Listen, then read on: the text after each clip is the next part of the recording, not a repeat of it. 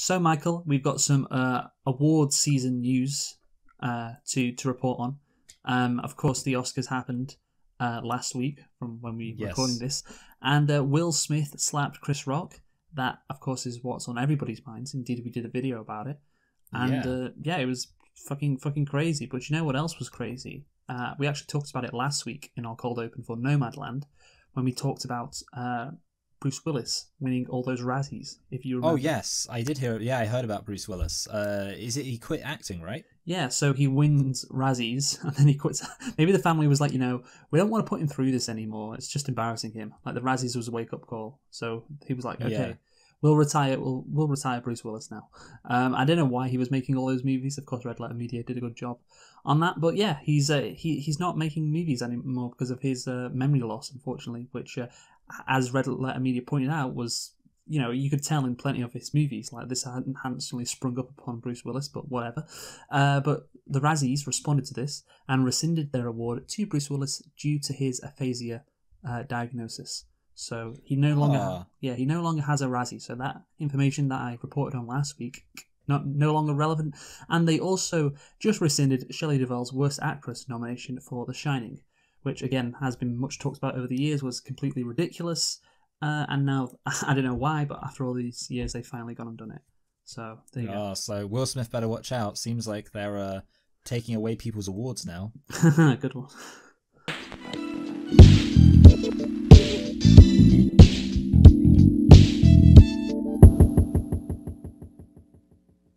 Hello and welcome to Select and Reflect, the movie review podcast where we look at films that have come out in the near and distant past. We give them a couple of watches and evaluate them beyond first impressions. I'm your host Michael, and I'm joined as always by my co-host Luke. And this week we are concluding our look at um, well the Oscar season in general by looking at the films that were nominated for Best Picture last year, and we're doing our, I think we do quite often where we kind of mop up at the end by looking at two films which I guess we felt we'd probably have less to say about um, than, than the other films which you gave full episodes to. And this week, we're looking at Minari and The Father, but I believe we're starting off with. So, Luke, why don't you tell us a thing or two about The Father? Uh, yeah, sure thing, Michael. So, uh, like you said, we are, of course, reviewing uh, these two movies. Uh, to be honest, there was quite a few movies we could have only done like in half an hour burst at this year's, or last year's, I should say, uh, Oscar uh, award ceremony. Uh, Mank and Nomadland come to mind. Um, and maybe Judas and the Black Messiah as well, but that I mean, the fact that Nomadland, like, I was thinking out, like, we really didn't have. Like, I think we had more to say about, or I would have more to say about either of these two films than about Nomadland. But I guess Nomadland had to get its own one because it was the best picture Yeah. winner. Oh, exactly. Yeah, of course. It won the best picture, so we had to review it. And of course, yeah, we. I think I gave it a uh, a six out of ten. What did you give it? Uh, Nomadland, I gave it a 6 too. Yeah, yeah, Probably, so- I guess a low 6. Yeah, and of course we shall um, rank all last year's uh, best picture nominees in order. What we think was the worst, what we think was the best, and therefore what should have won. Um, and we will do that at the end. And so yeah, Nomadland I don't think is going to be near the top of our list, of course. Uh, but let's see if the father is Michael. So, the father, or father, the uh, the father is a 2020 drama film co-written and directed by Florian Zeller in his directorial debut. This was his first ever movie, Michael, as a director. Wow. He co wrote it with fellow playwrights Christopher Hampton, based on Zeller's 2012 play Le Père. Uh, what do you think Le Père means in, in French, Michael? Um, what do I think it means? Uh, oh, oh, the brother, right? No, it means the father. Duh. Were you? Oh god, you weren't joking. Oh my No, god. you know what it was. Okay, here's the thing. See, I thought it was. See, what I remembered is that le frère means the father, and for a minute, oh, sorry, fine. I'm terrible. No, Yeah, I you, you are basically. messing this up. Yeah, yeah, I'm messing this up. You're right. But the important thing is, like, at first, I thought that um that it was going to be like something where it wasn't the father and it was something interest, like something else. So I was thinking, oh wait, what's the? And then yeah, but you are right. That was stupid of me. Um, and I do accept fully that that was unambiguously uh, stupid. Yes, I thought a nice little fun question. Oh, what does Le Père mean in. French? the brother, right? Which the fuck? Oh my god! Which is part of a trilogy that also includes La Fils and The Mother. Uh, so anyway, Michael, uh, this is a screenplay again by Florian Zeller. Um, you know, he's of course. I mean, it's incredible that he got nominated for a Best Picture with his first ever attempt at a directorial debut. But I guess the source material is very strong. Uh, the movie stars, which of course he also created the source material. So you know, Yes. yeah. But I guess maybe it wasn't his first play. Uh, yeah, I doubt it. Yeah, Was, sorry, well, it wasn't because you just said it was the third in a trilogy, right? oh, I said it's part of a trilogy. Oh, part of a trilogy. So okay. maybe. Well, actually, I'm looking at it now, and it wasn't. So, uh, La Pierre uh, was made in 2012, and prior to that, he'd done one, two, three, four, five. He'd done six plays Yes. before then, so so yeah, yeah. it's not yeah. impressive at all. And not impressive at all. Uh, but this movie, of course, stars Anthony Hopkins, Olivia Colman, Mark Gatiss, Imogen Poots, Rufus Sewell, or Swell. I, I'm, that's it's a hard name to pronounce. Yeah, I, I, yeah, I know, and I never, I just sometimes I just commit to pronouncing it like really over pronouncing his name, being like Rufus Sewell. Sewell, and Olivia Williams as well. So, Michael, this movie was released on the 26th of May 2021 in France. Somehow it qualified for the Oscars. I don't know how. Uh, and yeah, Michael, can you tell me uh, the budget for The Father? Right. Well, I need to point out two obvious things, which is that this film would have been quite cheap in a lot of aspects, like the fact it's almost entirely in like a flat. But it would have been, I guess, like I think the cast would have been a lot because obviously you got these two pretty established, famous directors of Anthony Hopkins and Olivia Colman. I'm guessing the cast is the overwhelming cost here. Um, I'm not sure what that translates to though in terms of how much they would have actually been paid. I mean, I'm kind of like I'm kind of thinking five million. Oh, good guess, because the budget Okay. is six million. Okay, good, good. So yes, the budget is six million. Uh, Michael, now it's time for the uh, for the box office. Uh, this movie, Right. of course, re- was released in the summer. It was released in on the 11th Yeah. of June, 2021, in the UK. So you know, it wasn't like in the winter, so COVID wouldn't have been a bigger deal. Uh, and yeah, I, I think it was just released in cinemas. I don't think I watched it on Amazon uh, yeah, Prime, but I think it was then it went to Amazon after it was uh, it was released. Yeah, yeah. I mean, well, so I was already going to speculate. I think this film probably probably did the best out of all the films nominated for best picture that's what my brain is telling me because i'm thinking like i feel like a lot of people obviously olivia colman's speech in, in the oscars for uh, the favorite was a really famous speech like lots of people who didn't even watch the oscars found out about that so if they then hear oh olivia colman's in a new film and like anthony Hor- uh, anthony horowitz anthony hopkins was nominated for um for best actor oh sorry one best actor uh, i feel like that must have done well like you got yeah olivia colman really famous great actress speech Let's have a guess. Other guy won. So like I think it did really well. I don't really know what really well translates to. Um, significantly more than its budget, I think. Maybe. I wish I could remember. Okay, yeah. I mean, I, I hope that this is not less than the highest anything else got. I'm not going crazy because yeah, it was still just like whatever. You know, it's not like a blockbuster film. I want to say 40 million. Okay, you know what? Not a bad guess. You're not getting a mark for more than double because it's 28.4. Okay, yeah, yeah. 20, 28.4 million was the box office total. Yes, I was worried you were going to say like 100 or something. No, I was like, yeah, Jesus yeah. Christ, don't do it, Michael. Thankfully, you didn't. Uh, so, yes, the box office 28.4 million. So, Michael, now it is time to get into whether we liked The Father. Did you? I I really liked this film. I thought it was a very well made um, film that was uh, emotionally resonant. And I think that's one way you can really kind of, and also kind of technically interesting. But uh, yeah, by uh, significant, many of these significant ways you would judge the quality of a film, this was a very good film. Yeah, movies that are based on plays are probably going to be pretty damn good. Yeah, just because obviously the play it's all about the screenplay um, Yeah. and, and of course you could add add in some stuff particularly in musicals you can add in more stuff you know. Uh, but you know the, the the writing has to be solid the dialogue has to be solid. And if you can translate that to the to the big screen and shoot it well and you know have good performances then you're on to a winner. And it is yeah emotionally resonant. It is a very depressing movie but it's a movie that makes you feel. And it's a movie Yes. and you know if, if a movie makes you feel something then wow that's good. That's that's it's done its job uh, so we'll we'll just uh, go through how or how critically acclaimed this movie was because you know like i said i, I do like it and it's un- unsurprising after watching the movie you know just how well it was reviewed so at the 93rd academy awards of course anthony hopkins won best actor and we're going Mm, to go through later whether he whether he deserved that Uh, I think he should have died if he wanted to get best actor. and Zeller and Hampton won Best Adapted Screenplay, of course. Uh, and that was yeah that that was uh, the the uh, the inkling that I yes Hopkins could I guess win Best Actor because clearly the Academy liked the father. Uh, but yeah, Best Adapted Screenplay. I mean, yeah, absolutely. I, I think that is definitely the case. Um, of all the uh, movies that were nominated in that category last year, I think this definitely deserves it. Uh, Yeah. And the film received much more than. is it? Of course, you remember what original screenplay was. Promising young woman. Promising Young Woman. Promising Young Woman and The Father standing side by side. The Best Screenplay Awards So crazy. at the 2021 Oscars. Uh, the film received six nominations in total, including Best Picture and Best Supporting Actress for Olivia Colman. Of course, she didn't win it. And again this year she was nominated, but she didn't win it. You, know, you have I to know, yeah. have to have a bit of a gap before you win it again. So you know, just stop performing in good movies because you're wasting your opportunity. Yeah, yeah, that's what I kind of think. Yeah, if she would have like waited five years to be in this film, she could have won Best Actress. yeah, I know. Or- yeah. uh, so, uh, of course, um, it you know won a lot of awards at the uh, Golden Globes and at the Screen Actors Guild. And uh, interestingly, a follow-up film based on Zeller's 2018 play The Sun, with Hopkins reprising his role as Anthony and Zella returning as writer and director, is currently in production. Oh, So we'll see. a father cinematic universe. yeah, the father cinema, indeed, indeed. Uh, so let's um, well, let's get into our nitpicks. Michael, how many do you have? I have uh, the grand total of zero nitpicks. Okay, I have one, which is Yeah, actually that's fine. which is actually a lit pick. Oh, you, you, you, you rascal, you. uh, Anthony Hopkins, uh, of course, plays a, a character who has dementia in this movie. Michael. Oh, what is um, what is uh, what is what is this character's name? The character's name.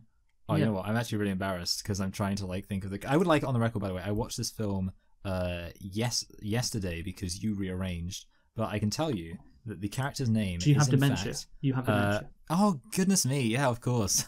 I do remember it now. Um, because yeah, so yeah, I get you. And this is something you like, of course. He's the character's called Anthony, yes, and yes. you like it when characters play or actors play characters who have the same name as them. and yes, and you forgot, and you that that fits into the theme of dementia, of course, in this movie. Yeah, that is so true, yeah, well yeah. done, well done. All full marks all around there for that. yeah, Yeah, so I think I should get a lit pick for forgetting what his name was. yes, The but funny thing is, I was like, my brain was saying Charles. So I, Jesus was, Christ. I was considering taking a guess. another fucking the brother moment then. I know, yeah. Uh, yeah, so Anthony Hopkins, of course, uh, plays a character called Anthony, and that's great. You know, you don't do, do it too often. Now, he can't play another character named Anthony, um, but you know, when you have a, a character who has the f- the first name of, uh, or uh, yeah, I guess the first name, the full name would be a bit too much. The first name of the actor who's playing them or actress, uh, and they, of course, um, you know, are famous, like Anthony Hopkins is. It makes sense. It just makes sense because everyone knows, oh, that's Anthony Hopkins, one of the most famous and acclaimed actors ever. So, yeah. Yeah. Oh, interestingly, I just saw this. His first name isn't actually Anthony. what Anthony Hopkins? Yeah, his first name's Philip. Uh, so I Oh. guess it's one of those kind of go by your middle name sort of things, which you know people do sometimes. Yeah, I guess. Yeah, maybe there was another actor. That was it. Yeah, because they don't, Oh, they can't yeah. have the same name. yeah, yeah, because that's like the Hugh Dennis thing. His actual name's Peter. Oh, really? Yeah, and yeah, basically, yeah, because they can't have the same name. Yeah. Classic. Yeah, maybe that's it. But anyway, so Anthony Hopkins is called Anthony. Uh, so yeah, let's get into the uh, plot. So Anthony Hopkins is called Anthony in the movie. Just to clarify. Yes. I know he's called that in real life as well. So, concept uh, of this movie, Michael, and the plot. So, uh, The Father is a uh, 2019 Bulgarian drama film directed by Kristina Grozeva and Peter Valchanov. It was selected as the Bulgarian entry for Best International Feature Film at the 93rd Academy Awards, but it was not nominated.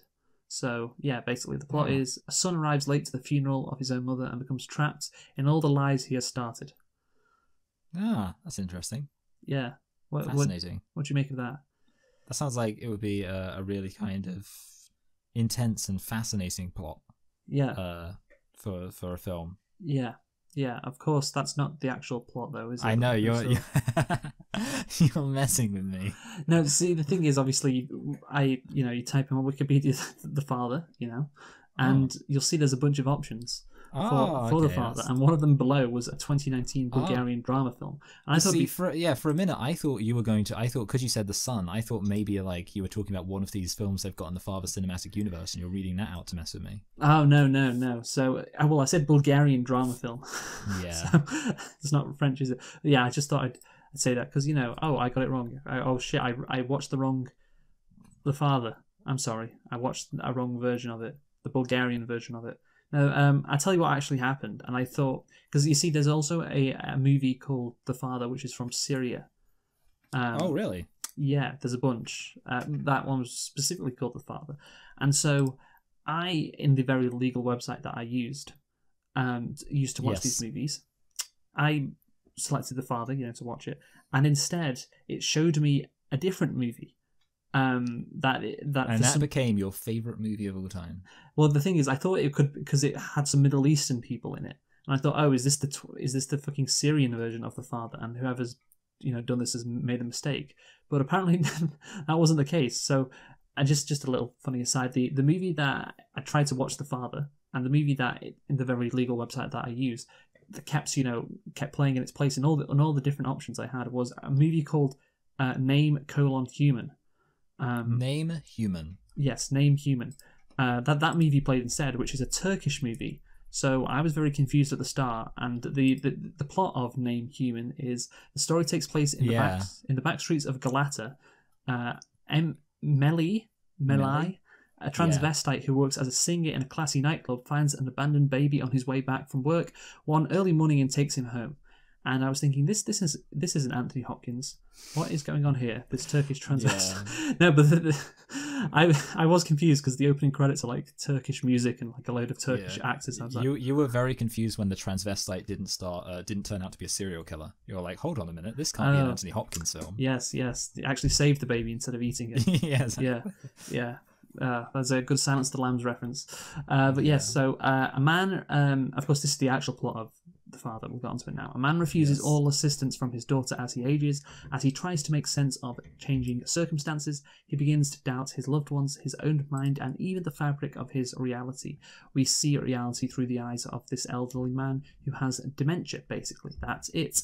And that is a very interesting concept for a movie. And of course, Anthony Hopkins Mm. sells it very well. Yes. Yeah, I mean, the funny thing is, I actually wanted to say that when I first watched this film, uh, I didn't actually bother looking up the, uh, you know, kind of plot description or anything like that. So I spent some proportion of the film kind of like trying to work out, wait a minute, is he actually insane or is like there some kind of thing where like, is this almost like kind of a horror thing where like actually his family's taking advantage of him or messing with him? And eventually I obviously realized like, you know, uh, I can't remember exactly where it was. Where I was like, but I was kind of going back and forward myself. So let me tell you, as somebody who went into this film not knowing for certain that it was about dementia, um, for a minute I was in that headspace too. I was like, oh wait a minute, what's happening here? Um, which was kind of actually enjoyable on my first watch. Yeah, like, not quite knowing. You see, I don't know if that's either embarrassing, um, me, yeah. just just on the level of you didn't get it or you didn't know what it was going into it, or, or it was actually great because you actually got to experience like his Yeah. life through his eyes more than me, who of course I, I knew what it was about dementia when I watched started to watch the movie, so I knew what was going on right from the Yeah. get go. Well, also I knew it was like by a French person, and I thought, well, you know, those French people they make like weird films. Um, so I was like, you know, like I wouldn't put it past them to make a film where it turns out like actually he's in some kind of weird cult, and like I don't know, at some point someone will randomly get naked or something. That's the kind of thing they do. Those Like Europeans. uh, Les Cousins. Ah, yes, exactly. Yeah. Um, yeah, I mean, actually, no. It made me think about this film called Dogtooth, which is about this guy who like uh, keeps his family in a secret compound and like lies to them about reality. Um, which is a great film. And of course, Cuties. Can't forget that great French movie. Oh, I love that. That was great. Oh, did you? Okay. Yeah, Yeah. fantastic. Interesting. Uh, I, from what I can recall, you actually liked it more than me. Yeah, I did like Uh, it more than you. That is yeah. true. Uh, so Anne visits. So this is what happens in the movie. To, we'll just kick us off at the start. So Anne visits her father Anthony in his flat after he is driven away the latest of several caregivers. He has dementia and constantly forgets important life events and where things around uh, are around his flat, including his watch. He tells Anne he believes his caregiver stole his watch and that he will never move out of his flat. She tells Anthony that she is moving to Paris to be with a man, which confuses Anthony as he does not recall any men in her life since the end of her marriage to James. Uh, Anne says if he keeps refusing to have a caregiver, she'll move him into a nursing home. Um, so the next day, Anthony encounters an unknown man, Paul, in his flat. Paul says he is Anne's husband and that Anthony is living in their flat. Uh, Anne returns what appears to Anthony as a different woman. Uh, through the eyes of a dementia man, basically, Michael, like I said, this is this movie.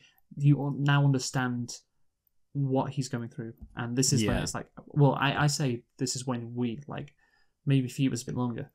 But then this, for me, this is when I started to understand the concept of the movie. It's like, oh, okay, we're just seeing reality through this guy's eyes.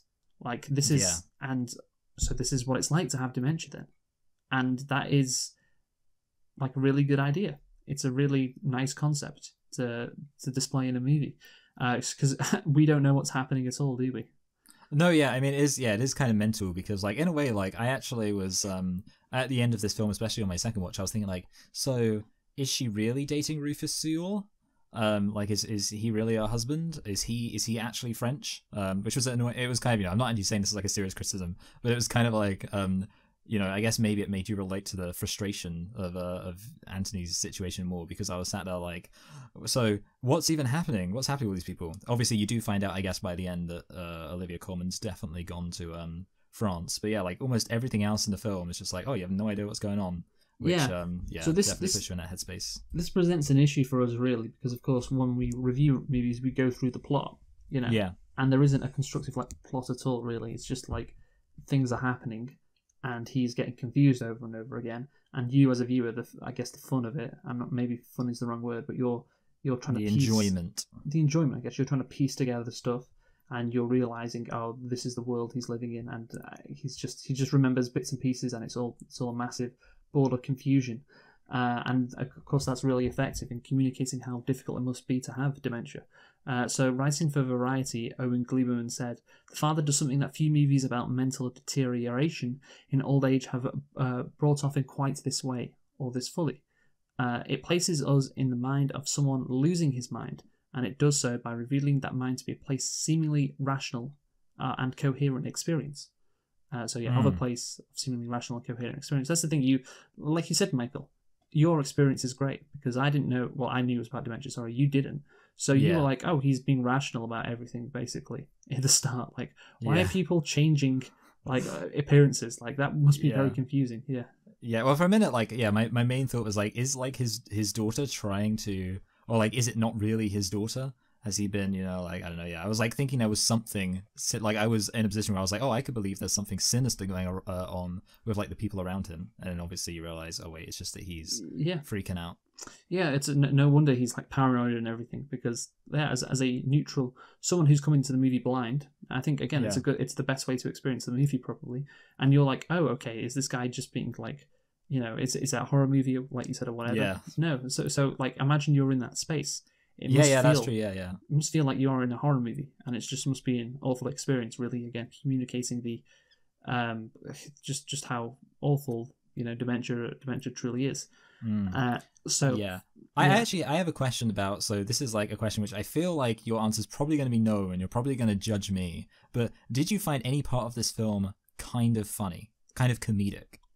Not really. No. Okay, so so the thing is for me, it wasn't like the thing is I want to stress that for me it wasn't like I laughed it because I thought it was like You laughed when or, or bad. I you laughed when James Gatiss slapped him. no, not really. No, um, no. I, I I found um so like when Anthony was kind of like doing some of like his old man kind of like uh like funny stuff. Like um or like for example the whole like the recurring they don't even speak English in in France where it's just like Yeah. they don't even speak English there and like when he started repeating it like I kind of yeah so I found it like funny and like a oh yeah more like a kind of I guess like bittersweet kind of way where it's kind of like obviously because especially on my second watch I knew the film didn't have a funny ending but even so it's kind of like the moments where he was being kind of like uh, a funny guy like you know doing his little tap dancing and all that funny stuff and making fun of the French for speaking the wrong language. But yeah obviously um, overall yeah I wouldn't describe this film as a comedy of any sort but yeah I just wanted to say that's something I experienced. I was like oh yeah it's kind of there is like a certain funniness to it a certain comedic aspect Yeah, but not yeah. much I guess so. Yeah, a bit, a bit perhaps. But anyway, uh, writing for Variety, Owen Gleiberman, who I've referenced quite a lot, um, said the, fa- the father does so shit. No, I just said that. I'm sorry. That's what I referenced. God, I have dementia because I Yeah. that was the wrong fucking uh, movie critic. Because now we're on to for the Guardian, Benjamin Lee, uh, wrote of Hopkins' performance. Uh, it's astounding, heartbreaking work. Watching him try to rationally explain to himself and those around him what he's experiencing. In some of the film's most quietly upsetting moments, his world has shifted yet again, but he remains silent, knowing that any attempt to question what he's woken up to will only fall on deaf ears. And of course, we'll go on to that his his performance later, uh, in specifically. But yeah, I I do like that aspect when he's just he knows that something isn't right and he's confused and he just is like, yeah, okay, fine, like. yeah yeah, it's just fine. You know, I, I won't say anything because nobody's going to listen to me. And yeah, it's that's and it, he communicates very well, and the screenplay does it too, as does his performance. Of course, it all does combined. Like the the helplessness and the, just the frustration of Yeah. no, nothing making sense around you, and if you point it out, nobody will care at all. Yeah, yeah, yeah, definitely. Yeah, I, I really, yeah, I really like that, and I do think, yeah, you kind of get the sense of yeah, the character just having to deal with this situation because obviously, I mean, there's no escape from it because it's literally inside his own head. You know, you can't escape from that, uh, which yeah, obviously is uh, both, you know, yeah, very emotionally resonant. Let's say, realizing he's in that situation. Yeah, uh, I like the aspect where you know he he sees his like um, uh, daughter as a different person to uh, to what she normally looks like in her appearance, and of course uh, her husband as well. And yeah, obviously, you know, he can't remember anything at all. It's like a I don't know. if you imagine, can you imagine a slinky, Michael? A slinky. Yeah, in terms of in terms of the pattern. So it's like um well, what I mean, it's like a circle, and then it loops back on itself. Yeah, yeah, yeah. I got you. Yeah, and it keeps and it keeps doing that basically. And it keeps looping. That that's what it's like in, in this movie. Yeah. Um, so you, you go forward in time, then you go back, and then you go further forward in time to where you've been before, and you go back in time again, etc. That's kind of how it's like.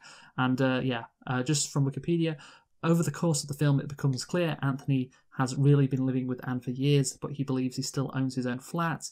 After Anne comes, she and her husband, who is sometimes called Paul and sometimes James, uh, appears as two different men.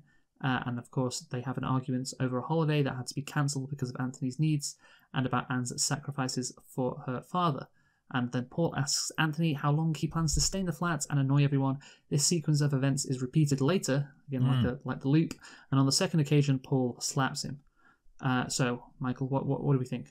Uh, yeah, I mean it's it's really it's really well done, especially yeah with like the Yeah. dinner table conversation in particular. Is like just that was like I think that was like the biggest kind of Loop. just whoa, uh, like Yeah. wow, that was that was like clever the way they did that because you didn't Yeah. see it coming at all, and then just happened. You're like, oh wow, he's just really losing his mind.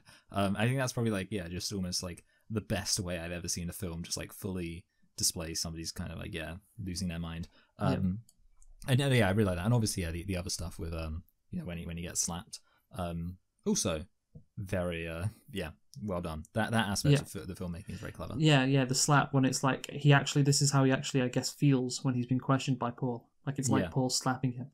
And I don't yeah, I don't imagine in real life Paul actually would, would slap Yeah, him. yeah, yeah. Yeah, yeah, Because so I, I do find it funny how like Paul kind of like when she walks in and like the dad's crying, just got Paul and like imagine Yeah. if Paul if Paul actually was just slapping him. Yes. Oh. Yeah, yeah. No, no, yeah, exactly. But that's uh, again that's how he that's how he feels. Like and that's how he's he's remembering it because I guess that's yeah, that's in the moment that's he was like being bombarded. And yeah, uh, obviously yeah, it's of course the looping in the dinner scene that, that that was great as well. And of course, you know, he believes it's still his own flat. He still talks about Anne's flat like it's his own flat. And uh, like you say, yeah, that's um well you you were going to make a point about that, weren't you, Michael? Oh yeah, yeah, the flat. Um, yeah, I just thought it was really clever how like the flat kind of moves around. And to be honest, there were like several points. Like this is another example of how it kind of gets in your head. There were several points where I was like kind of thinking, oh, ha- has the flat changed or is that the same? Because you know, obviously it's kind of hard to tell. But like Yeah. there was a particular scene where it's kind of like they walk out of a room and like they're looking down the hall one way, and it looks as if that's like the wrong room. And then obviously there's a bit where it's like there's a bit that has been previously established to be like where his bedroom is, but then there's a closet there all of a sudden. But then, yeah, there are other moments where it's kind of like you're kind of working out, wait, is there like a subtle thing going on where he, the, the house is slightly different, or you know, am I Yeah. just thinking that? So yeah, it's really clever that. Yeah, yeah, and of course, um, we'll, we'll get onto the end now. So obviously, this woman who has appeared as his carer, uh, who was of course uh, Laura, that was her actual name, and this um, and appeared as uh, his daughter Anne, who of course um, uh, was played by Olivia Colman. Um, this woman at the end, who has appeared as these two characters, is actually, of course, the care home woman. Yes. And yeah, slowly she'll basically replace his daughter in his memory. Basically, uh, I guess is what's what, what is uh, occurring there.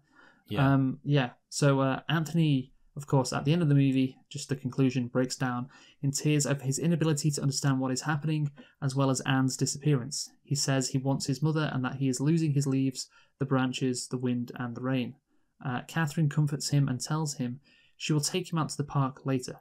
And yeah, it is a uh, it is a very depressing ending, and it just really hammers, like you say, it's it, it's emotional, makes you feel something, Michael, which is why it's so good. Like the the ending really nails it as as much as it can, and yeah, it just makes the point so well about how honestly heartbreaking it is to live with depression. Uh, so not depression, Yeah, dementia. dementia. I guess depression as well, but yeah, the ending's depression, uh, uh, depressing, and yeah, it must be awful to live with dementia. It just must be the most horrible thing in the world. And yeah, this movie makes it that point as well as it ever could. Um, so yeah, what what do you make of the Yeah, yeah. I mean, it was kind of interesting because I was thinking a little bit about Manchester by the Sea, which is obviously also another very sad film we've reviewed. But in that, there's kind of like an ending where like he's kind of sort of starting to open up to the world, and you kind of get that impression that he's like, you know, slightly, you know, you get the impression he could improve. Obviously, the sad thing about this film is you know that he's not going to get over it. Like basically, he's just like that's it until he dies now. I don't think there really is a cure for dementia. So that's why it's kind of like it's not just like sad in the context of like the film having a sad ending but it's also like kind of the extra level of you know a film could have a sad ending and you can kind of you know convince yourself oh but maybe it works out for them afterwards.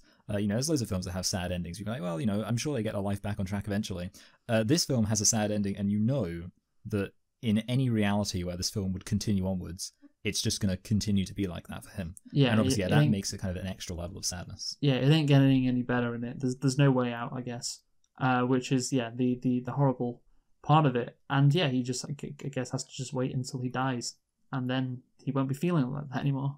Um, he won't be feeling anything, and that's that's the depressing part of it. It's just like oh yeah, he's that's it for the rest of his his life. And yeah, d- dementia is is truly awful. Of course it is, and this again this movie displays that incredibly well, as does the performance of Anthony Hopkins, Ah, who of course won Best Actor ahead of Chadwick Boseman. Mm. um, and yeah, he was he was asleep in uh, at, at the time, which I, I just love when he received his Best Actor uh, award. And yeah, of course, very different. You compare his his uh, performance at last year's Oscars after winning Best Actor and Will Smith's at this year's Oscars That's after true. winning Best Actor. Very different in how they how they presented themselves that night while winning Best Actor. Yes, But yeah, oh, he, you know, uh, that just made me think like, what if somebody got like the Will Smith slap, so it was Anthony Hopkins getting slapped in the father? you know what? I interestingly I um because he presented the award for Best Actress afterwards. Yeah, Anthony yeah, Hopkins. that's true. so he was there at the ceremony that night, and he he quoted Will Smith, um, not not the "get my wife's name out of your fucking mouth" part. Yeah, He was talking about acting, and he said he said uh, Will Smith said this, blah blah blah blah, and I think that's right, and everyone applauded. So that was maybe him trying to just you know smooth things over, given what had happened. I'm not sure. yeah. Uh, but yeah, so anyway, uh, Anthony Hopkins, of course, um, he won his second Academy Award for Best Actor at age 83, becoming the oldest Best Actor winner ever. Um, what was his first, Michael? um, oh, Silence of the Lambs. Yeah, but even though he Yeah. wasn't really a lead in that movie. Yeah, I was actually surprised. I was going back and looking. He hasn't actually been in that many films. Like considering Yeah. how famous of an actor he is, uh, I did find out he does the narration in uh, in the Grinch movie starring Jim Carrey, which he shockingly didn't win. I know, Actor. yeah, yeah, yeah. I remember that. Yeah, he does. Yeah, yeah. yeah. I remember Yeah. his But narration. yeah, it's like it's shocking because he's done like obviously he's done some other like films in the Hannibal universe, but he really yeah he hasn't done as like you because yeah when you think about it like oh Anthony Hopkins really famous guy and you're like how many films has he actually been in though and the answer is not that many that you'd kind of know of. Yes, yes. Anyway, so um, do you think he?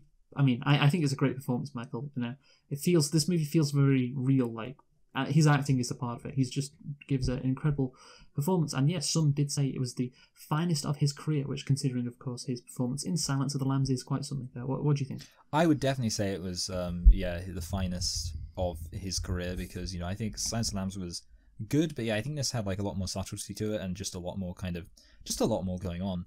Um, it was yeah it was really good. Uh, and I, I would say probably that I think he should have got Best Actor for it. Um, yeah, I admittedly I haven't watched Ma Rainey's Black Bottom since uh, well since last year, so I can't really remember. But yeah, my instincts to say that he definitely deserved to win. Yes, yes, and yeah, uh, obviously, Silence of the Lambs, the father. Those his. I mean, again, like Will Smith.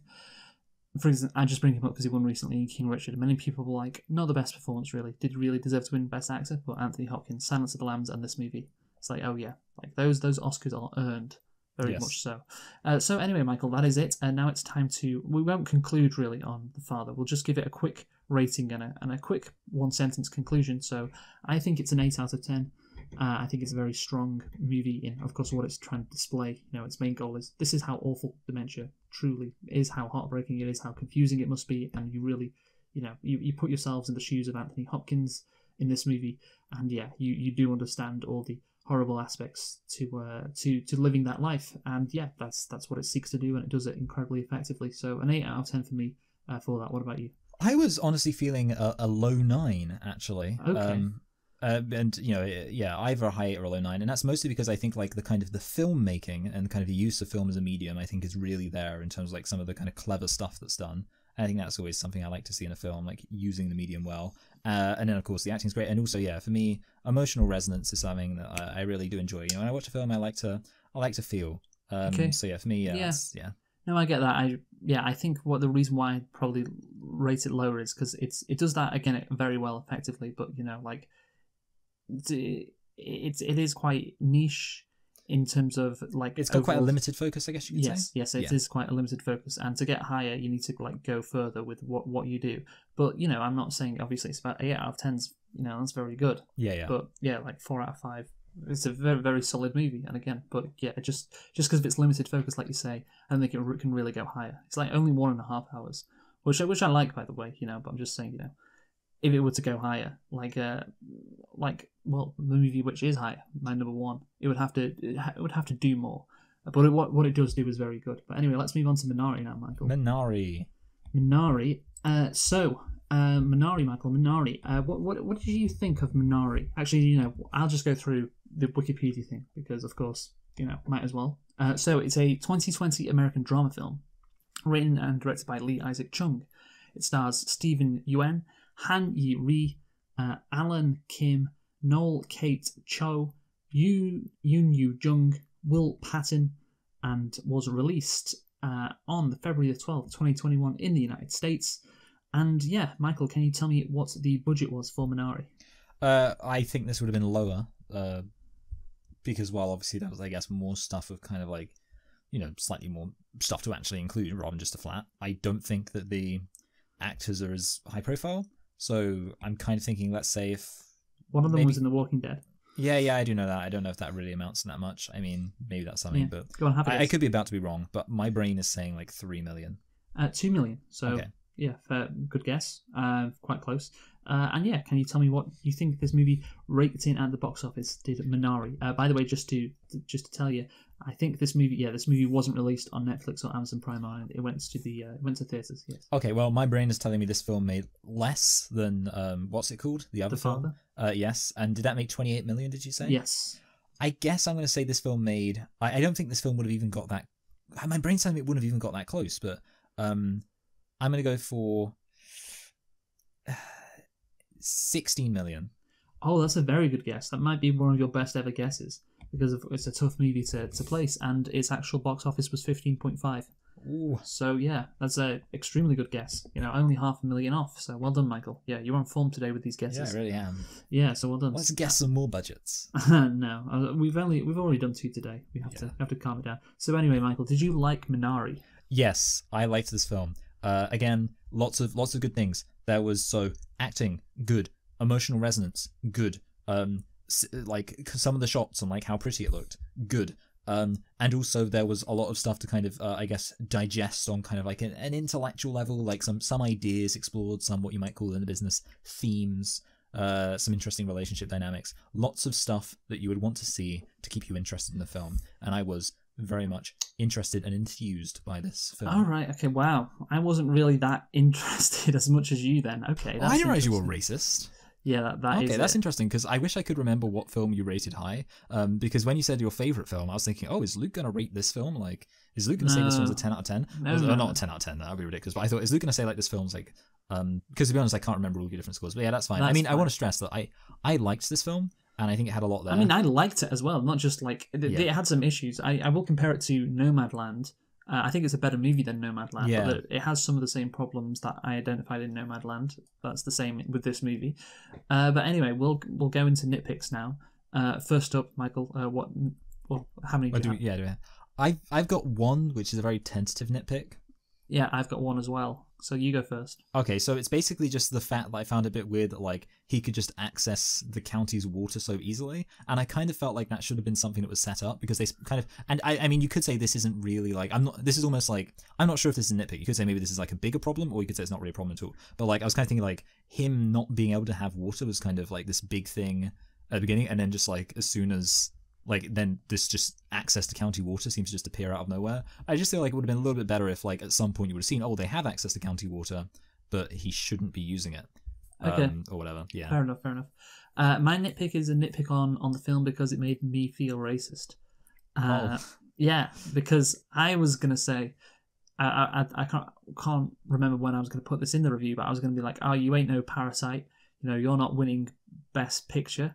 And I was like, oh wait, actually, this is an American film. This isn't a Korean film. That is a good point. Yeah, you Uh, are yeah. racist. Yeah. Yeah, yeah. This is. I can't even compare it to. Par- Why would I compare this to Parasite, Michael? I can't because it's yeah, it's not, got it's an nothing American. to do with yeah, exactly. These these are American people living in America, and as soon as you step foot in America, you become 100% American. That's why, and I want to stress this: no American has ever referred to their their old world heritage um, in excess, even Yeah. when they have a ridiculously tenuous connection to the country they claim to actually be from. Yeah, at least these these people actually speak Korean. Yeah, So, and one of them, one of hey, them. are you saying I'm not Irish?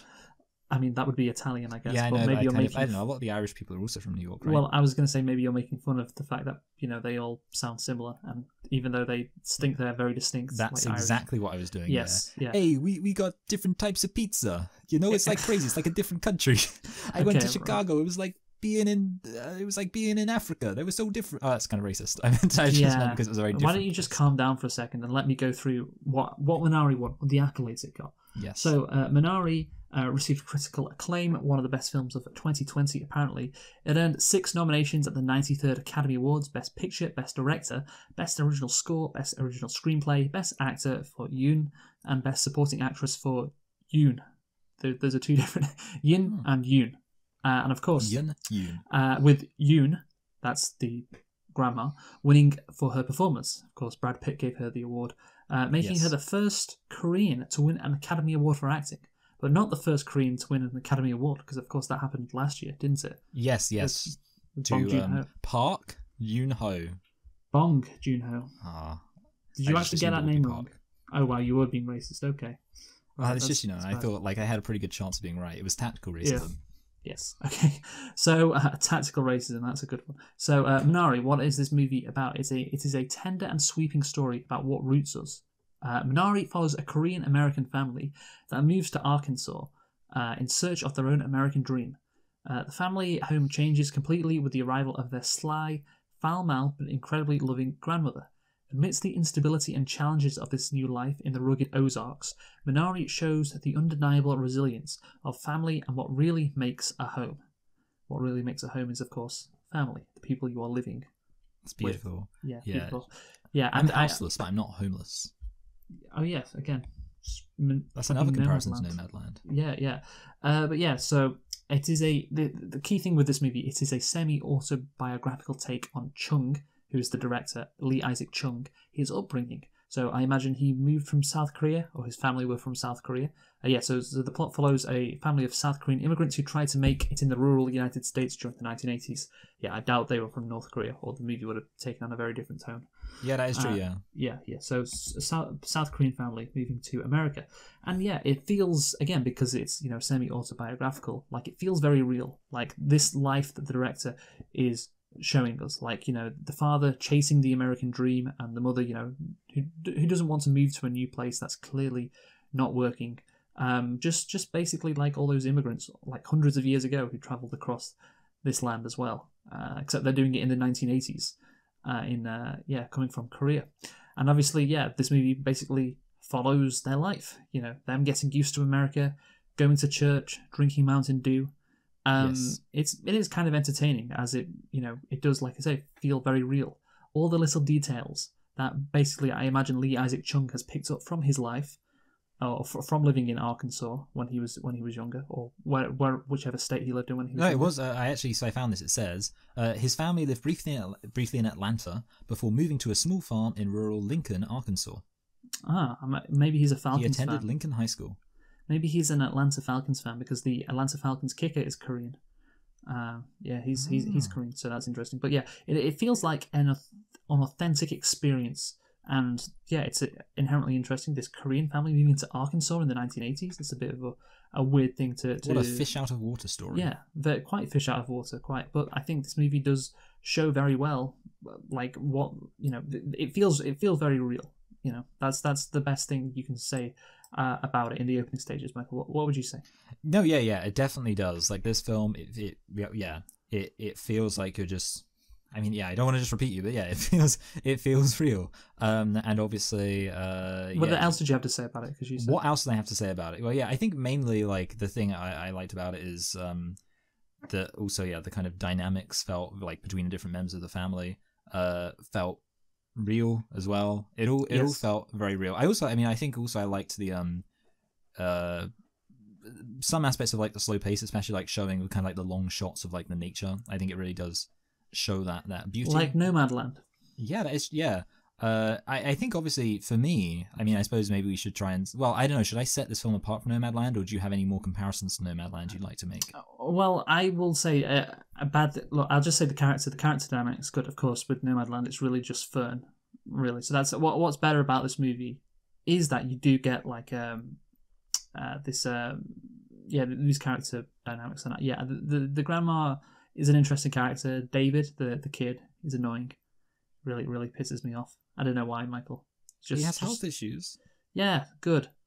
uh, so, so um, but the issue I think with the movie is that um, farming difficulties. You know, that's the only real plot like thread throughout the movie. It's just like a, a time in the life of this young Korean kid and this and this family, and after a while, you do kind of start to tire of it. You know, it ju- just being, hey, this is what this South Korean family experienced in 1980s America and it just feels like at some stage it's like okay i get it all right you know it's i, I get this is this is what you experienced you know you, it was difficult it was unusual and yeah the, the the farming difficulties again that's the only real plot thread throughout the movie. That's and of course that's rel- related to the, the guy's uh, marriage of course. Yeah, yeah. yeah and yeah that's that's just basically that, that's it and it's like I, I would prefer if there was more plot going on uh, but basically. Uh, I, I think i can't remember when. It was like an hour or s- and a bit in. I was like okay you know um, maybe maybe it's when the, yeah the kid went to when uh, david went to his uh, his friend's house for the night. And Oh, yeah. it was just and it showed him like the, the breakfast scene. And it's like oh this is who he had to grow up with on all that. Like oh it's so different to what he's experienced. And i was like okay right i get it. It's different. It's weird. It's arkansas. It's not california or korea. But yeah anyway what, what do you have to say? That so that basically like nomadland Land, there was a very thin thread of a plot throughout it Um, yeah, I mean, well, so obviously, yeah, you mentioned a marriage thing, um, as kind of like extending from that, but I would argue, I mean, I think like the way that things do extend from that makes makes it a bit more interesting. I mean, the thing is, I think what I like about this film more than Nomadland is that it it has these uh, few things, but it does stick with them. So you do kind of get like a sense of completeness, like, and obviously, for example, you got like the kids' health issues. Again, you could say it's like a small thing, but like they, they have the whole "don't run," David. He's called David. Don't run, and then like obviously then he has the bit where he runs, and, it has, and then like obviously then you get the bit where it's like, oh, actually no, it turns out that he's doing he's doing better. And again, you could say, well, that's not much, but um, it's at least I think that's something which I would say makes I mean, it's better fine, than I- I- Nomadland. like the fact that you have things, and obviously, for example, like the marriage stuff, the wife's complaining about like the situation right at the beginning, and then and throughout the movie yeah, and then yeah, basically that's what I'm saying. Like at least, um, and obviously you have the relationship between the boy and his grandma. Like the th- the film when it introduces something, pretty much carries it out to its kind of conclusion. Whereas I would say by contrast with Nomadland, I would almost say it barely even introduced that much. And you know, so I could like but probably for- point to like if, if you said what are some like plot threads in this film, I could point to quite a few. it does it does it does carry out its conclusion but that's the thing the plot thread of like the kid and his heart it's not really a th- it doesn't really there's no it doesn't end up you know with anything. Oh he his heart improved. That's great. You know i guess but that you know there's no like payoff for that. Um and yeah it just it, it does come to its conclusion i guess a lot of the threads like eventually eventually it does after a while um but yeah i i think um well there are some themes i guess which again makes it better than nomadland uh what you the christian guy i liked michael the Yeah, christian yeah, guy. yeah. He, he was interesting. Like, I especially, and again, you also, I mean, this film did have like a comedic element to it. Um, with especially like when he does the the, the exorcisms. differences yeah oh, the exorcisms yeah and like get out out um yeah he he's he's fun um and do you have anything more to say on the christian stuff um well you know i mean i think uh well i mean obviously it's kind of weird because it's almost like um like you you almost feel like the fact there is the religious stuff and then you almost like it's almost like does does the film almost hint at miracles? I don't know. See, the thing is like what I'm kind of thinking about is like how like the kid's starting to get healed, um, and the fact that like, but then and then obviously you got the fact like that the thing burns down, but then they still have the Minari and it's like, oh look, the, the Minari saved day. Like it does almost like um, I know that when we mentioned when we spoke about uh, Slumdog Millionaire, you you mentioned that one of the things we were doing about was like the the providentialism, like the idea that there's some kind of like higher power working behind the scenes, and I feel like in a way the film it almost seems to have that going on, but not in like any kind of dramatic way. But there's I don't know, there's like this weird sense in this film of like things kind of working out, which I almost Well, the grandma sacrifices herself, doesn't she? yeah, exactly, like a hero. Um, but no, yeah, I mean, I think, um, yeah, the religion stuff. I mean, obviously, it's mostly just uh, kind of, I guess, an aspect of the character, and I suppose, I mean, it's a bit interesting because I'm not really sure. Like, obviously, the husband's very cynical about the religious stuff, while his wife's clearly like into it. Um, and you know, I, I, I, I, I don't know. Yeah, I mean, it's kind of interesting because obviously, then you've got the farm stuff where the wife's cynical, but the husband's really into it. So isn't that an interesting, interesting little uh, uh, give and take situation? And I guess the message there is that a farm is like a church. If you go out and you water those seeds and you plant them by spreading the gospel, eventually you will reap the rewards of, of eternal salvation. Is that what they taught you in church? Now we will pass the collection. No, yeah, I mean, I don't know. Yeah, that's the thing. Like, Yeah, I mean, I, I- do agree. I the think it's- stuff. It's not like um. it's interesting. It's interesting all that stuff, but I, I guess, but yeah, I'm not sure they really flesh it out if that is the case. Um, but you talked about the Minari, of course. One of the aspects I did like, of course, Michael, is Minari. What is it? It actually means water celery in in in English. Uh, but of course, you know what Minari is a metaphor in this movie for Michael. Co- Korean culture. No, it's not a metaphor for Korean culture. Uh, it's it's a metaphor for family. So Ah. yeah, I, I believe that is the case. So it's enjoyed by, of course, rich. You know, she goes on a long rant. The grandmother enjoyed by rich and poor people, grows everywhere like weeds, can be put in a stew or soup. You know, can be medicine if you're sick. You know, just just basically like fa- family can do a lot for you. Basically, family can do everything, and you can rely you can rely on family, Michael, always. And And they can rely on Minari. yes, and of course that is the the central I think theme to the to the movie because of course you know Jacob admits to Monica that the success of his crops is, is more important to him than the stability of their family, and they have an emotional argument, and the two agree to separate.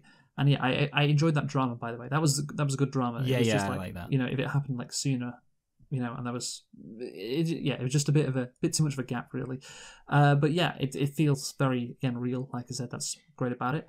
But of course, then uh, the grandma accidentally sets the barn containing the produce on fire in their absence, and Yeah. I, don't, I didn't really know about that because it seems quite forced. Well, yeah, yeah, It's- I do kind of agree with you. It kind of, it did seem a little bit like cliche, um, or like a bit kind. I guess also kind of like melodramatic in a way. Yeah, but the thing is, I it's it's a good plot device, but just the way they get to that plot device, the way they introduce it, I just think is a bit shit. But uh, but anyway, uh, they arrive home and Jacob rushes in to save the crops, and Monica, of course, soon follows. Eventually, the fire grows out of control, and they decide to save each other while leaving the barn to burn. So yeah, basically, Jacob does make the choice, you know, the literal choice, the very literal choice to save his wife over the crops, and you may be like, ah, that's not really subtle, is it? It's like the least subtle thing ever. But I'm fine with that. I guess it's like the end of the movie. It's like a big moment. I I, I don't mind that really. And uh, yeah, of course, he proves he does actually care about his family more, and he doesn't uh, value the the crops over his family. He he makes the makes the right choice. And of course, at the end of the movie, you know, um, he he goes out and what does he do, Michael? He, he's getting the Minari, isn't he? Because Yes. you know, Minari, the Min- Minari is reliable, just like family is reliable. You know, you can basically you can always fall back on it. That is the most important thing. That is the lesson that these immigrant families learned, like the ones from South Korea, and it is a nice wholesome message to end the movie. Like wherever, you, like home isn't like this specific place. Like home is just when you're with your your family, and you know those those immigrant families they had to. That's the thing they can rely on their family to get themselves through these uh, these tough times. Uh, It's it's always it's always there. The crops may fail, other things may go bad, but that that Minari that Minari will will always be there. So yeah, Minari is, is is like family. Which again, it's a very nice message, very nice ending, like the father. Yeah, it'll be that. Well, it's it, it's unlike the father in that it's well, like it's a happy ending. Yes, yes. Well, what I mean is, it's a very good way to end the movie. Both good endings displaying their theme, the message of the movie, very well. I think. Yes. Uh, no, yeah, I, I really like that, and um, also we haven't mentioned the sorry, sorry. The thing is, what we didn't mention though is like the uh the funny bit, and I think it needs to be mentioned when the woman's when the little girl says, "Can you tell me when I say something in your language?" Oh yeah, the chong, racism. wong bit. wong, bing bong, tong kong. Yeah, that was funny, Yep. wasn't it? that's a good purpose gay bit. We'll do that. no, yeah. I mean, I mean, like, yeah, I do like that. Um, yeah, that aspect of um yeah you you've convinced me with the with the fact that the Minari is a perfect metaphor for family that um Yeah, that is yeah that is a really uh that does a little add a little something extra um so yeah it does. I agree. I, I, I really do agree. Uh, but anyway, Michael, it is of course time to uh, t- time to go through our uh, our ratings. Well, actually, let's conclude. Basically, I mean, yeah we'll, we'll conclude on Minaris. Um, so, yeah, I think overall, like I said, it's it's a bit too similar to Nomadland. How a lot of the s- stuff happens when it's like, oh, this is just their life, their, their life experiences in in the, in this movie. You know, a slice of life, but a massive like chunk of life because you know weeks go by in this in this movie. All this stuff that happens, them trying to assimilate into Arkansas in the 1980s as a South Korean family. Yeah, it's interesting, uh, but then it, at some stage it's like, okay, I get it. Can we just have a bit more plot, please? You know, can can we move stuff on? And to be fair, the ending is really solid. I like you know the overall message, the the metaphor of the Minari being for family. That's good. Um, and yeah, it's uh, there's it's a it is a beautiful ending when actually he goes out with his son to cut the Minari. That's that that's that is great. And yeah, overall, um, I have to say it's it's better than Nomadland. Nomadland in good ending. It's better than Nomadland, uh, with its um, yeah. I, I I guess also just with how how interesting it is in general because it's probably just a bit more interesting than Nomadland. So uh, I'm gonna give Minari. I think I'm gonna give it a seven point five overall for Minari. What about you? Um, yeah, so I I liked this film. Um, I think yeah, maybe one of the reasons I liked slightly more new is, for example, I didn't really find the kid um annoying. I mean, obviously, I'd find him annoying if he were actually my son. Um, you know, Okay. I would definitely be getting that stick. Um, but yeah, like overall, I didn't really find like the relationship. Yeah, I didn't find any of the characters annoying, and therefore, I guess that meant I found like all of the relationship dynamics between the characters interesting. Um, I think yeah, as as like kind of a lot of the shots and like stuff that looked pretty looked pretty, and I like that. Uh, emotionally, yeah, most of it, it did hit with me. Um, and you know, I think like some of the moments were supposed to be funny. I think I probably found them funny. Moments were supposed to be sad. I think I found them sad. I do think that the ending of like the uh, the fire thing was like very cheesy, but then like very I guess like over overly dramatic in a not subtle way. But I do think the ending was very nice in a kind of in a naturally subtle, subtle way. So swings and roundabouts there. Uh, overall, yeah, it was it was good, and I think because I liked the characters more than you, and you know, I guess was just I think extending from that was just more able to engage with it as like a Yeah, I didn't really like life the characters as much. I guess maybe uh, that is I- my issue. Unsurprisingly, I'm going to rank it higher than you. I am thinking probably a low eight. Um, yeah, not that much higher then. maybe yeah. I, I mean, I may be thinking a middling. Maybe I'll say middling eight just to yeah, yeah. I'm not quite sure, but I'm going to say middling eight, and these distinctions matter a lot. So yeah, middling eight for this film. Okay, a middling eight. So let us now go through uh, our rankings. I hope you've got them on hand, Michael. Yes, I do. Our rankings. So, of course, there were eight movies that were nominated for Best Picture last year at the 93rd Academy Awards in 2021. Those were uh, The Trial of the Chicago Seven, Sound of Metal, Promising Young Woman, Minari, Mank, Judas and the Black Messiah, The Father, and of course the the winner, which was Nomadland. So uh, we started reviewing these movies in January. It's now April. We've reviewed all uh, eight that were nominated, Michael, and it's time to it's time to rank them. What we think deserve to be number one, what deserve to win. Uh, so yeah, let's go through them. So what is your eighth? We'll go from worst to best. What is your eighth ranked movie? What is the worst movie from no last year's best picture? surprises here. It's a promising young woman. Promising Young Woman. What did you give that out of ten? I think I gave it a, a. See, I can't actually remember. I'm not gonna lie. Um, but I think it was a three or a four. Okay, well, I have given Promising Young Woman a three out of ten, so I think you you were probably similar. I think you gave it a three as well. So next up, what was your seventh ranked movie? Uh, next was the Trial of the Chicago Seven, which I think I gave a five, a low five. I gave Trial of the Chicago Seven three and a half, uh, and of course that's half of seven, which is great. And yeah, it's my seventh ranked movie from from last year. So uh, it's incredible. Best Picture nominee, a three and a half out of ten, and a three out of ten for me. Yeah. And of course, you were pretty similar as well.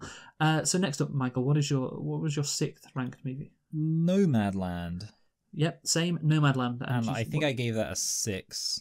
I gave it a six as well. So Yes. yeah, six out of ten for the sixth place movie, and of course that won Best Picture. So we do not agree it should have won Best Picture. Yes. We we think it was quite a way off from winning Best Picture. Uh, so what was your fifth ranked movie, Michael? Mank. Mank. Same for me. What did you give it out of ten? I think I gave it a low seven. Uh, yeah, I give it seven out of ten. So yeah, very very similar there. And next up, of course, Minari for me, which is number four. What's your number For four? me, um, Judas and the Black Messiah, which I think I gave a high seven. Okay, okay. Minari for me was seven point five. Uh, well, to be fair, it's tied for the Sound of Metal. Uh, Yeah. Yeah, actually, you know what? I think Minari's better than the Sound of Metal, even though I both gave them a seven point five. So yeah, Minari, Sound of Metal, seven point five each. But I'll rank Sound of Metal Yeah. fourth. And For the record, third. the reason why I'm sometimes drawing blanks on exactly where I ranked it is because I mostly was focusing on the order, which is clearly the superior way of doing it. Um, well, yeah, I mean, I, obviously, I rank, I rated my movies. I can draw on that easy because I have a list. I'm surprised you don't, but yeah, you know what? I stopped. I'm not gonna lie. I stopped. Um, I stopped doing the list thing like a while ago. Basically, Okay, when I stopped like ranking all the films relative to each other was when I stopped doing the list. I probably should take a note of it. yeah, I've got them all, all here. So yeah, Sound of Metal for me for Minari three. What was your third ranked movie? Uh, number three, uh, Sound of Metal as well, Okay, which I right, think I also gave a high seven. So what? Sorry, what was your fourth place? Uh, Oh, Judas and the Black Messiah. Okay, so so uh, what is your second ranked movie? Second ranked is Minari, Second ranked is The Father, which I gave an eight out of ten. and your best film of the 2020 was Yeah, 2020 slash the first two months of 2021. That one that was nominated for Best Picture at the Academy Awards was Judas and the Black Messiah. uh, and for me it was The Father. So I I'm rated- racist. I rated Judas and the Black Messiah an 8.5 out of 10. Uh, and you rated what did you rate The Father? Uh, an 8.5, I think. Well, a middling 8. Oh, yeah, middling 8? Middling Yeah. 8. So uh, you Judas and the Black Messiah was your fourth ranked movie. Then Yeah, yeah. Which, to be fair, I mean, the thing is, there wasn't much separating it because I gave it a, a high 7. yeah, So yeah, yeah, but then I also gave Sound of Metal a high 7 and I gave Minari an 8. So, yeah. yeah, yeah. So um, I, I guess overall because I gave The Father an eight and that was my second ranked movie.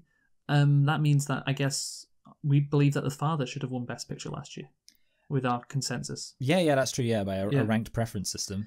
Yes, Uh, and I would have yes. been, yeah, I really think that would have been like, I mean, it's kind of funny because when Nomad Land won, like, I kind of went into it like, oh, yeah, I'll probably just win whatever. But yeah, when you actually just like look at the films, it's like, goodness me, are there some films like, because that's the thing, like going into this Oscars, I feel, or into, you know, the Oscars that we're talking about now, uh, lots of people I just think didn't really care. But to be honest, there are a lot of films which I would have had quite strong opinions about. Um, yeah, so- yeah. I mean, Nomadland it won was both our sixth.